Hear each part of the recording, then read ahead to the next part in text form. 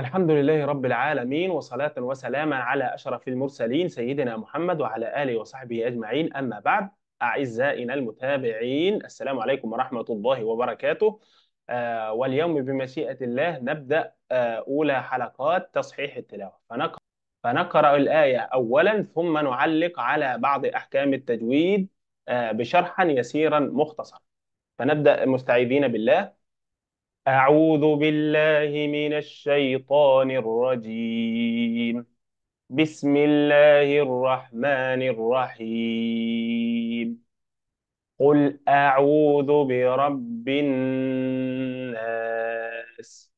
قل أعوذ. حرف الذال هنا من الحروف اللثوية وهي ثلاثة أحرف. الذال والضاء والثاء فهذه الأحرف الثلاثة تسمى الأحرف اللثوية نخرج فيها طرف اللسان قليلا ونجعله يلامس الأسنان. فنقول قل أعوذ ذا ذا آه، أو مثلا العظي ضي ضي العظيم. أو مثلا للثاء ثا ثا ثم ثم وهكذا.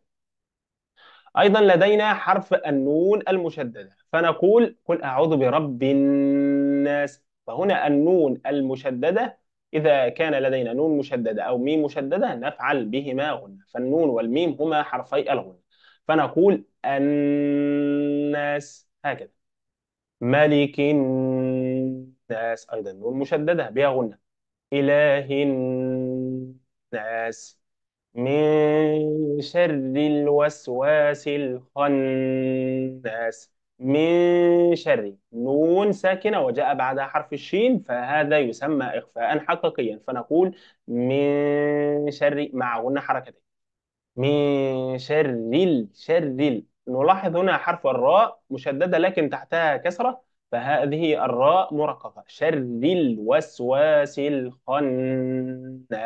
ومشددة أيضا بها غنة الذي يوسوس في صدور الناس من الجنة والناس من الجنة والناس. الألف ألف الوصل أو همزة الوصل. ثم اللام بعدها اللام الشمسية بعدها الحرفان لا ينطقان فنقول والناس. هكذا. والله ولي التوفيق.